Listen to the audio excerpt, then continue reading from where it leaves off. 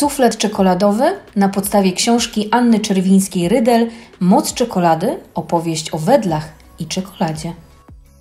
Składniki na suflet: 5 jaj, żółtka i białka osobno, 100 g cukru, 50 g masła, 300 g gorzkiej czekolady.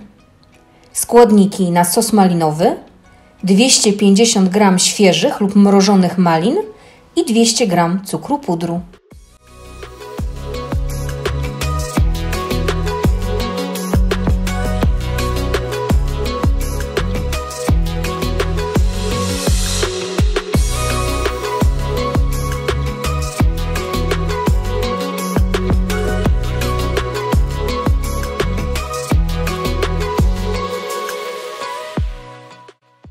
Przygotuj 6 żaroodpornych foremek o średnicy 10 cm, smarując je miękkim masłem, a następnie posypując mąkę całe dno i boki. Nadmiar mąki wytrząśnij z foremek.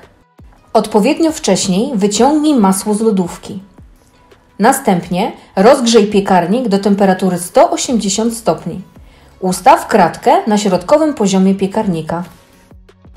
Maliny zmiksuj z cukrem pudrem na jednolitą masę.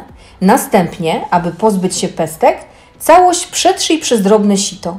Sos jest już gotowy. Przechodzimy do sufletu. Utrzyj żółtka z połową cukru i miękkim masłem. Białka ubij z pozostałym cukrem na puszystą pianę. Czekoladę rozpuść w kąpieli wodnej. Tym celu przygotuj rondę lub garnek oraz metalową lub szklaną miskę o średnicy większej niż średnica rondla lub garnka. Połam czekoladę na kawałki i umieść w misce.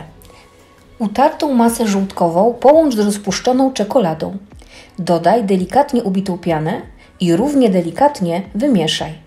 Nałóż masę do żaroodpornych foremek do 3 czwartych wysokości. Piecz od 15 do 20 minut w temperaturze 180 stopni. Suflet podawaj tuż po wyjęciu z piekarnika razem z sosem malinowym. Sos możesz zamienić na świeże owoce, a suflet posypać kakao lub rozdrobnionymi liofilizowanymi malinami.